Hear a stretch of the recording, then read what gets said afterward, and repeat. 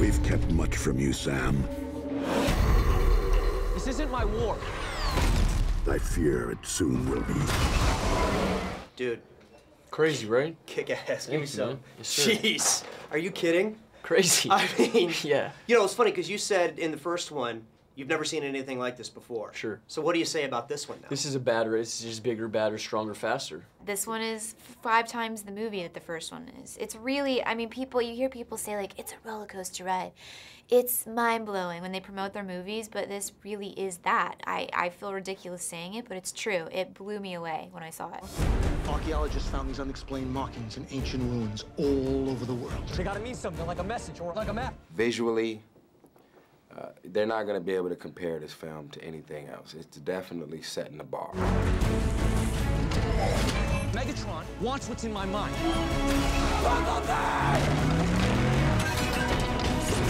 Were you worried about when you were when you came back after the injury that, Sure. that maybe it You could further worse? injure. Yeah, I mean, it, it did get worse. I mean, things did get worse. I like movies with risk. I like uh, I like my, my hero to feel the pain. I like as an audience member to go through it with him. And, and there's no uh, there's no uh, there's no nothing more painful than trying to shoot a Transformer movie with a broken paw. No That stuff's fake in rough. there, huh? Nah, that's a very real situation.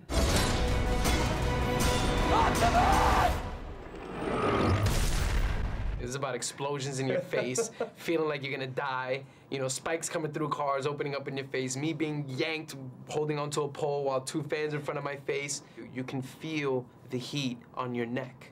Like you know, your your your hairs are like crisping, like they're starting to burn a little bit. It's very close. That's, I think that's he does it on purpose. He wants very real reactions. So, you know, I mean, when we're done filming, 12 hours a day of explosions, I come back and we're like everybody's shaking. Ramon is saying that the explosions were so close that you literally could feel the hair on the back of your neck being burned off. Sure. Was it really that close, or Yeah. was that just a special effects? No, no, no, it's a real deal. You're talking about the biggest explosions ever put in a film with that actor in it? I mean, in the history of filmmaking?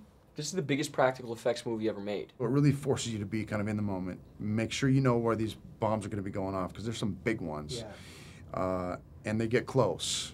And they want you to be as close as possible because it looks that much cooler on film. So, uh, Oh yeah, So- half your face missing when it goes off. yeah, well, well, yeah, so so my thing is okay. This is coming. I know it's coming. I got to be ready. And when it goes, you got to, you know, it shocks you a little bit, but then you got to remember what you have to say after that. And I've forgotten my lines more than once. Believe me, after one of those goes off, because you're like, what the. Oh, I did a lot of my own. The spike coming through the thing, I mean, that was a really dangerous stunt. That that was a hydraulic thing that spiked through really quick, and I had to, I couldn't move. I had to literally stay right in my spot, or else I would have lost my face. Fate rarely calls upon us at a moment of our choosing.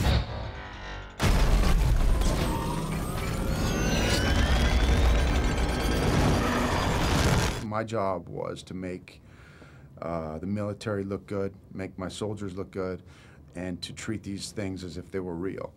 And, uh, and, you know, we have a lot of military advisors around. We have the guys that, you know, all, I have a lot of friends that are SEALs, especially after doing the first one and then the second one. And Yeah. they're not afraid to let you know if you screw it up. Yeah, I'm sure. So, you know, I really wanted to, I really wanted to make them proud, and that's, that was my main concern. Hey, beautiful. I got your webcam so we can chat 24-7. Sounds cute. I can't wait. You and Megan uh, coming back again for the second time. Was there a, a scene that you know just kind of comes to mind that was one of your favorites? It's a lot of fun kissing Megan Fox, dude. You know? That's Well, not yeah. a bad situation. Well, I guess you could look look at that 50 years from now and go, Yeah. tell your grandkids. Yeah, somebody made a mistake. she Uh, talked about a scene in the library that that she just you really had her. He improvs constantly, and he's a genius. He's comedic genius. And uh, we were filming in the library, and that day he was just really on a roll. And what you see, that scene in the library, none of that was on the page. That's all came from his bizarre little brain.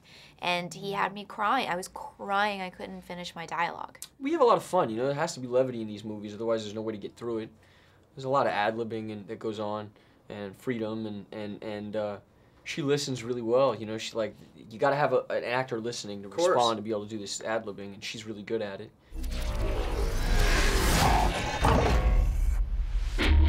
I just had a full-blown mental meltdown in the middle of my class. This is the biggest budgeted movie Paramount's ever made. Uh, it's nobody's been allotted more toys by the military than us. First time this movie came out, recruiting numbers went up. Wow. The, the amount of toys that we get to play with is, is it's astronomical. I saw it on IMAX yesterday. I can't even imagine. I still haven't done for that. the eyes. Sure, I mean, sure. It's an anxiety attack we're selling. Looks exactly like a truck. Freaky, right?